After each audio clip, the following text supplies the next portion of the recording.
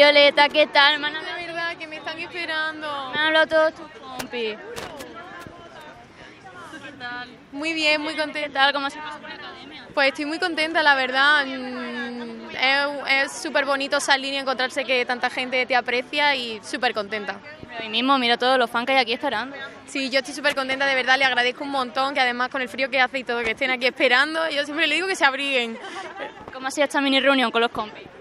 Súper necesaria, la verdad es que salir y encontrarlos a todos es como que te da esa, ese calorcito ¿no? humano de, de todos nosotros que al final hemos hecho familia y volver a reunirnos es súper bonito.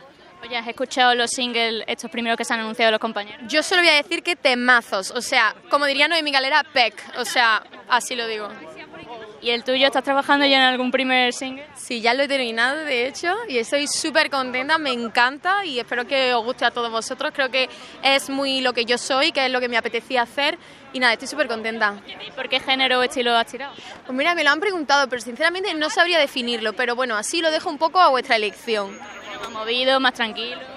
Es movidito, es movidito, tiene su, tiene su cosita, sí. Oye, ¿cómo están viendo los compañeros los que quedan? Que tú te has dejado muchos compañeros allí porque has avanzado mucho.